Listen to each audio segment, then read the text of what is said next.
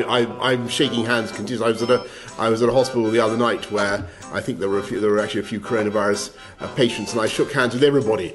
Uh, you'll be pleased to know, and, and, I continue to shake hands, and uh, uh I think it's very important that we, you know. Me me me me.